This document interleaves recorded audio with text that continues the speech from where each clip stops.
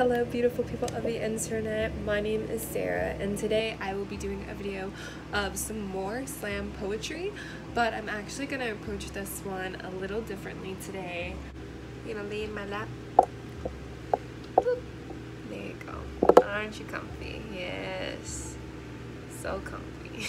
if you didn't watch my other video, I will leave the link in the description below, but I'm starting a new series of having slam poetry accompanied by like a doodle or a doodle accompanied by a, a piece of poetry that goes along with it or is based off of it or is just a rant or has nothing to do with anything.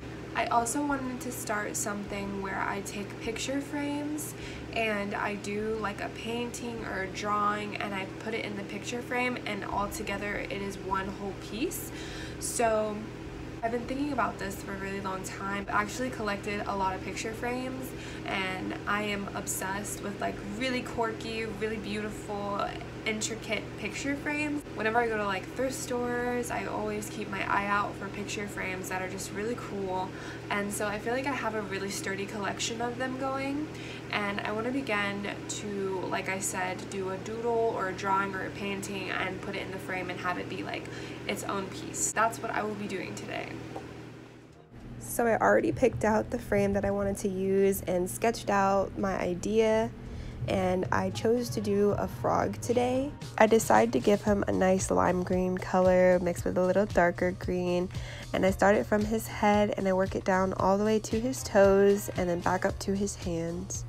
The frog is in a crisscross position with his hands toward the sky as if he is meditating lately I have actually been doing a lot of yoga and it is so much more intense than I thought yoga was. I thought it would be so soothing and relaxing and I mean I guess the aftermath is, but the during duration is more difficult and more challenging for my body than I thought it would be but I am practicing um, yoga and I'm really happy that I am. But also on the side, I've done very few meditation sessions, but the ones that I have, I have done a lot of good thinking during them.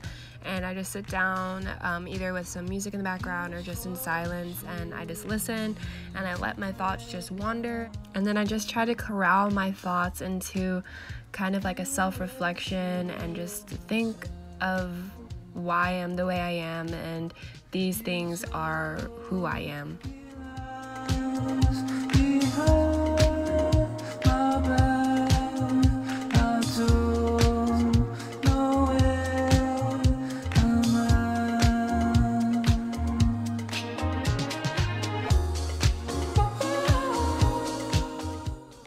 As you can see, I put him on a nice lily pad floating on some water, whether it be a pond or a lake. You kind of can't see, but the only reason I'm leaving little white random splotches in the water is because I had sketched out some dragonflies that I want to be flying around. I find lily pads so freaking adorable that I just had to do them. Um, especially if I'm doing a frog, he has to be sitting on a lily pad. That's just like just how the world is. and I also wanted to incorporate the flower that sprouts from the lily pad. I really like the way that it's behind the frog because it also looks like it could be the energy that's radiating off the frog. So I know I've mentioned a few series that I want to do, one with the slam poetry, two with the frames, and now I also want to start kind of like another kind of series. I don't even know what to call these. Like, what am I doing? I'm just like, I guess finding my character, finding whatever I like to draw, whatever I like to do, just my artist voice. Um, but one of my callings is to do a lot of frog themed things. Um, and I kind of want to start a series of like frogs doing things that humans usually do, or just like frogs living human lives, which I've seen art pieces like this, but I just want to like do it in my own style. So that is just something I also want to get into. So it's kind of cool that I'm incorporating all three of the things that I want to start into one.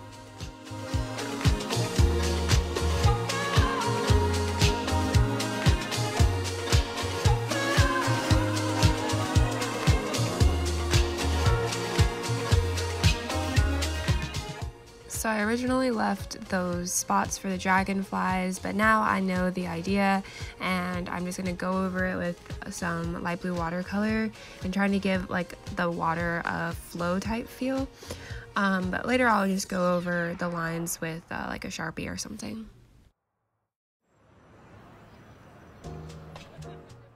An epiphany that I had about water one day a long time ago. It was on a trip. I was just staring at this river that was in our backyard and I just was watching the ripples very closely and then I saw it. I saw what water is and it was just waves bouncing off of each other, off of each other, off of each other again and I just like all of a sudden was like I get it. I get water.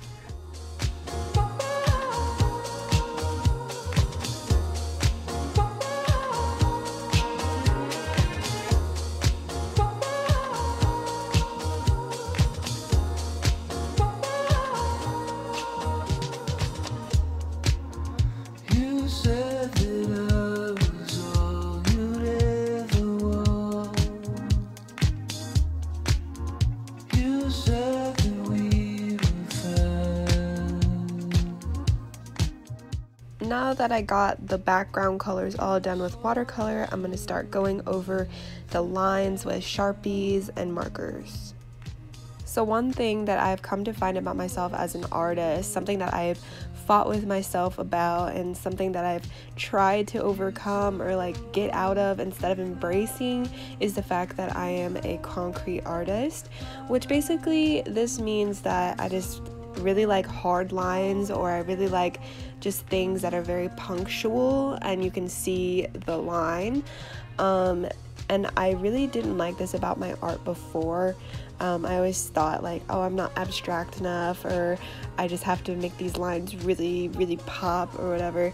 But now I've come to embrace it more so, which I'm actually really proud of myself as an artist. I feel like I've come a long way and I've accepted my characteristics that I do even though I'm becoming more comfortable with my style as an artist, I also do not fear the things that make me uncomfortable to do.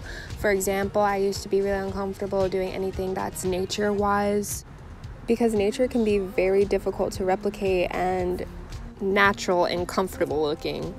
The conclusion that I've come to is if you don't ever face the things that you fear or make you uncomfortable, you'll never become resolved and you'll never get better.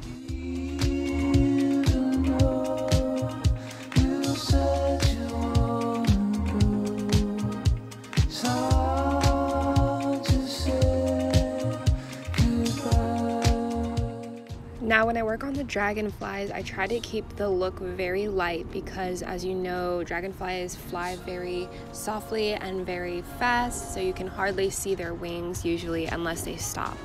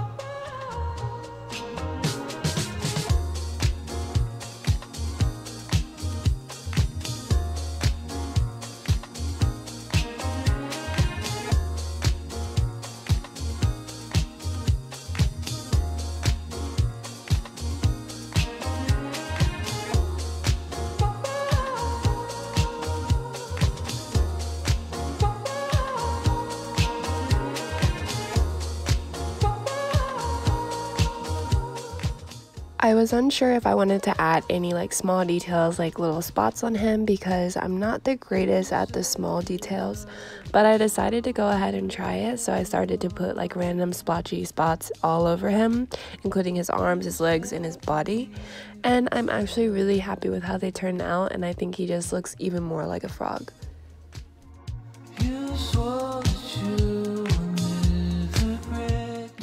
So here I use a reference of a lily pad just so I got those stem marks correct. And I think using references is very important whenever you're first starting out um, creating or making any art because it gives you a guide and it shows you what the real thing is and you're just trying to replicate it in your own little style.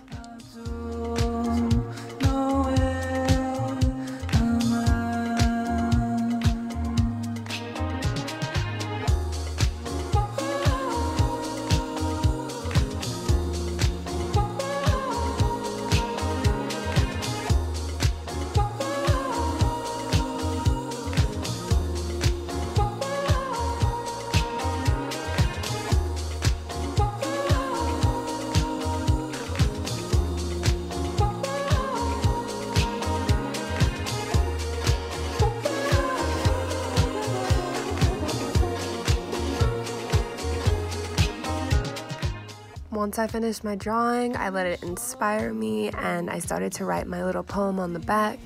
And it went a little something like this If I focus all my energy on things that feed my light, I may finally be able to use my third eye. I rock with the waves as they cleanse my soul. I know that I can be brave if I break out of this small fishbowl. I pray to the higher power even though I'm on the waiting list. For now I'll receive this sun shower as one of my blessings and bliss. The dragonflies surround my body, humming with their gut.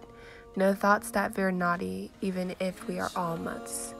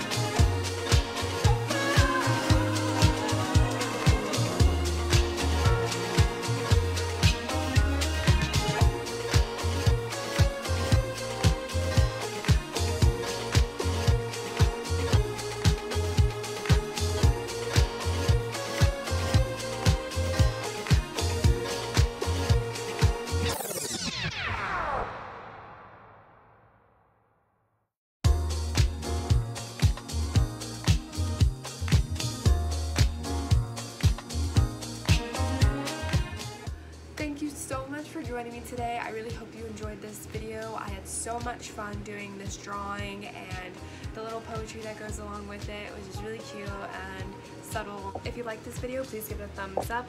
And don't forget to hit that subscribe button if you'd like to see my continuing series and ways that it grows and ways that I struggle and ways that I just and if you like slam poetry, this is exactly where you should be. If you have any ideas of anything you want to see me draw in particular, you're more than welcome to leave in the comment section below. I'm open to any ideas, you know, any inspiration. I mean, that'd be awesome. Give me some ideas.